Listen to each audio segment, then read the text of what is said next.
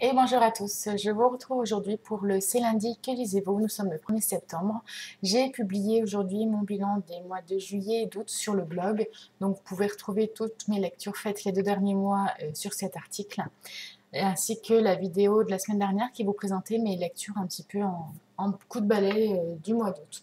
Alors la semaine dernière était placée sous le signe de la romance, particulièrement de la new adulte, puisque j'ai lu deux romances donc, de ce genre et un livre de urban fantasy. Donc je vais vous présenter tout de suite le premier livre. Donc c'était une lecture commune euh, que j'ai faite avec Lise Soubou, donc vous saurez tout il s'agissait de Jeux de patience de Jennifer L. Armentrout. Enfin, elle l'a écrit, je crois, même sous le nom de, sur le surnom de Jillian.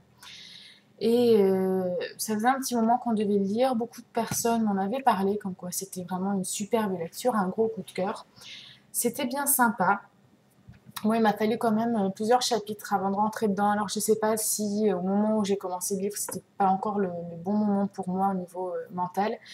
Mais voilà, j'ai pas été tout de suite tapée par rapport à Lucie qui, elle, a été immédiatement prise dans, l'histoire de cette jeune Avery qui rentre à l'université qui est une jeune fille qui a été traumatisée euh, par son passé et qui, elle, essaie vraiment de respecter les règles, d'être à l'heure, de se faire passer très discrète. Et seulement le jour de la rentrée, elle foire complètement tout, elle est en retard, elle, euh, elle rentre en plus dans, dans ce garçon qui s'appelle euh, Cameron, alors qu'ils se rendent tous les deux en cours d'astronomie. C'est vraiment la scène euh, complètement burlesque où là on se dit non mais c'est pas possible, elle se tape la honte quoi, complet. En plus il s'avère que Cameron c'est un super beau mec.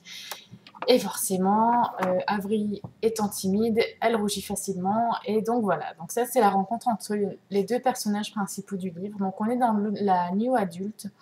On est face à une jeune femme qui est terrorisée donc par son passé, qui essaye pourtant d'avancer, mais qui a vraiment ces barrières qui lui empêchent de vivre une vie normale.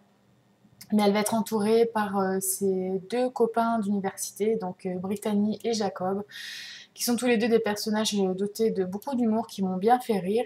Et il y aura également Cameron, qui finalement va s'avérer être très proche d'elle et un très bon soutien et qui va essayer un petit peu de creuser dans, ce personnage pour, bah, pour lui permettre de reprendre confiance en elle et puis qu'ils se créent tous les deux leur histoire d'amour. Donc c'était vraiment une bonne lecture. Euh, euh, plus j'avançais, c'est vrai que plus je trouvais Cameron charmant et plus je me disais, effectivement, je comprends mieux l'engouement des nanas, c'est très difficile de lui résister. Donc à la fin de ma lecture, j'étais très satisfaite. Mais euh, je me suis rendu compte hier notamment que j'avais déjà oublié pas mal de choses de l'histoire et qu'il fallait que je me concentre pour me remettre vraiment dans euh, l'univers. Donc, euh, est-ce que c'est du fait que j'ai lu une autre nuit adulte que je vais vous présenter après et qui m'a complètement séduite? Ça, je sais pas, je sais pas si c'est lié.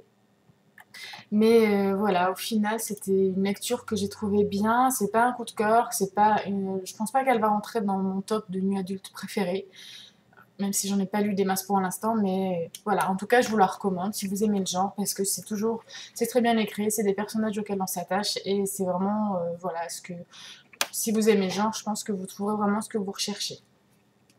En deuxième lecture, j'ai lu donc le tome 1 de la série Indécise de C.S. Euh, Stephens aux éditions Hugo et compagnie.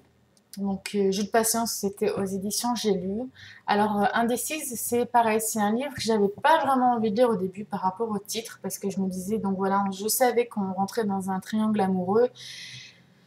Je me disais, oh là là, elle va me taper sur les nerfs dès le début, si elle sait pas ce qu'elle veut, ça va pas le faire. Et puis, quand j'ai vu un petit peu les autres tomes, de quoi ça parlait, tout ça, je me suis dit, bon, allez, j'ai quand même envie d'essayer. Et c'est en voyant certaines notes sur Livradix que j'ai été convaincue donc, euh, de, de, le lire. En fait, j'ai bien fait parce que j'ai adoré. Donc, lui, c'est presque un coup de cœur. J'ai eu énormément de mal à le lâcher. Donc là, c'est l'histoire de Kiera qui arrive à Seattle avec son petit ami euh, Denny, avec qui elle est depuis deux ans. Il a trouvé du boulot là-bas et du coup, elle, elle a tout quitté euh, de, de sa région natale pour le suivre. Donc elle s'est inscrite à l'université de Seattle. Et euh, ils vont vivre en colocation avec le chanteur d'un groupe rock qui s'appelle les D-Bag.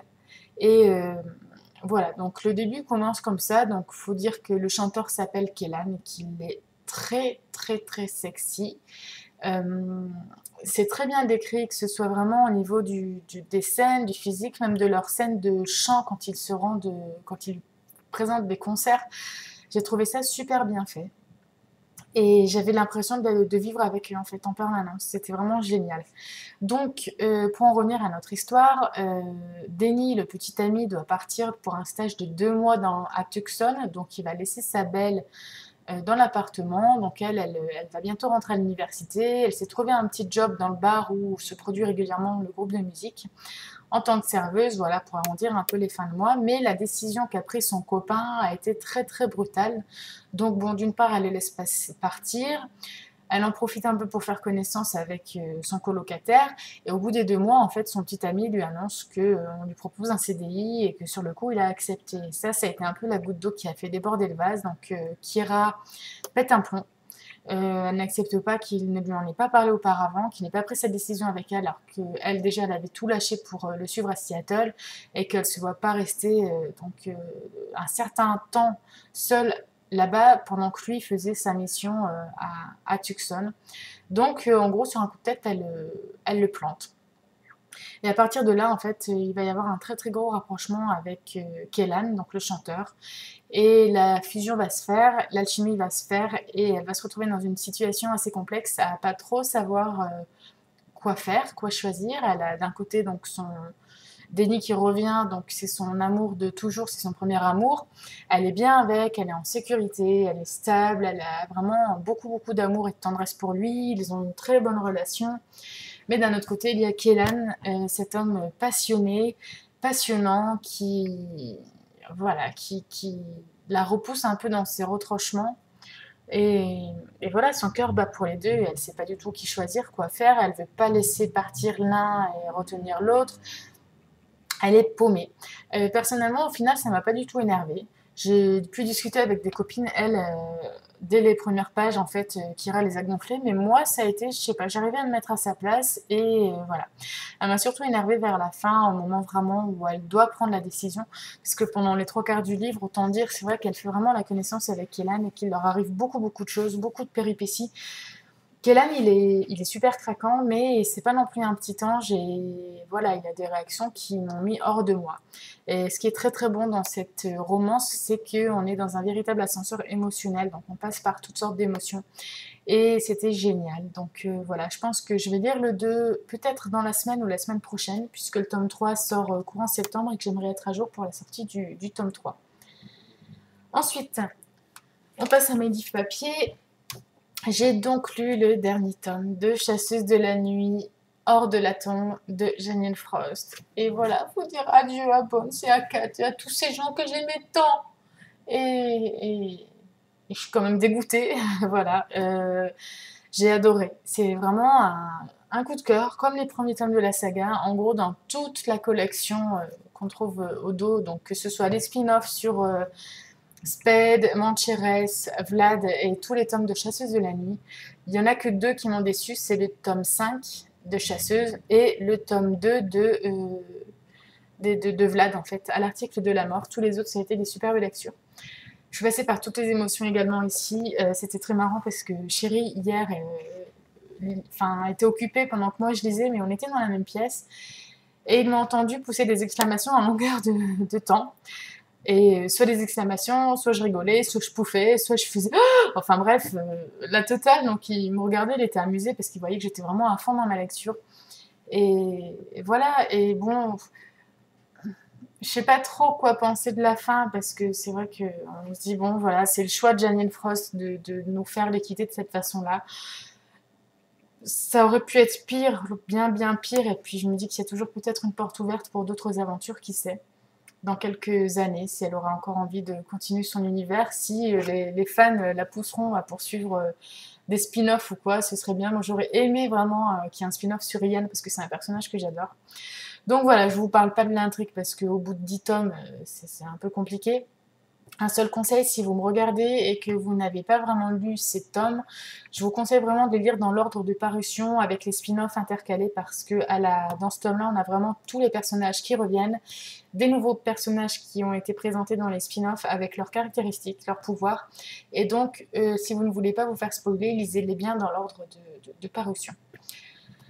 Ensuite, euh, j'ai commencé donc pour cette semaine, je lis Eleanor in Park de Rainbow Rowell aux éditions Pocket Jeunesse. Euh, un livre que je voulais depuis très longtemps, que j'ai reçu pour mon anniversaire, donc je suis super contente.